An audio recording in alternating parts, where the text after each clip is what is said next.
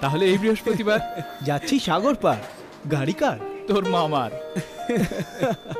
প্ল্যানটা কি? আসবে নাকি? ওকে।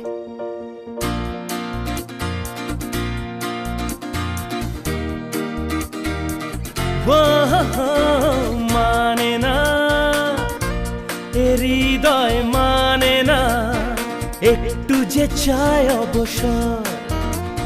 ছুটে যেতে চায় বারবার পৃথিবীর ওই নীল সীমানা, সাগরের রজানা দোলায়। ও মানে না।